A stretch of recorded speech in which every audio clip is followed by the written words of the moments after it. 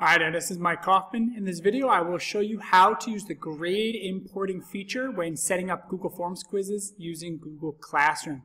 It's a great new feature from Google. Um, what I love about it is it keeps track of students through Classroom who completed the quiz and who didn't, as well as keeps all your grades in one place, right? So all those grades completed by quizzes, as well as the grades uh, from the assignments that students complete will all be there right in Classroom, keeping you better organized.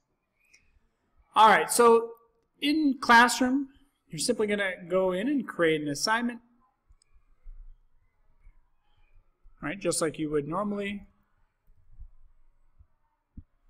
And you're going to go down to Drive to choose your Google Forms quiz. Or either find it through searching it, or whatever has been most recent. Click Add.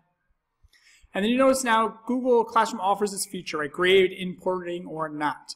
Now notice when you choose grade importing, it's going to limit each student to just one response, as well as collect the emails and really restrict it to just those users in your domain. Right, so what it's going to do is, again, just collect the quiz as a quiz, and then import the grades automatically into Classroom. Right, then when you assign, um, again, what's lovely about it is you can see, right, who's done, who's not, and then as soon as my student completes it, right, you'll then be able to see that it is been completed. Right, the student's going to open it up, right, is going to complete the quiz, Let's fast forward to this part, over back to my classroom, right, and there we go, marked as done. I can click on it, and then I can see, right, that that's my student who's finished it.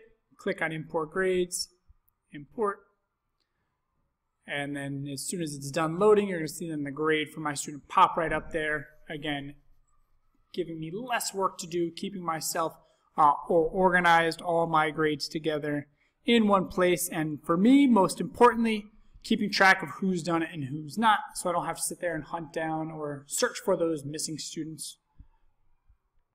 So there it is. There's how to use the new feature on Google Classroom for importing uh, and connecting Google Forms quizzes right to the Classroom gradebook. A super functional and cool new toy. Good luck.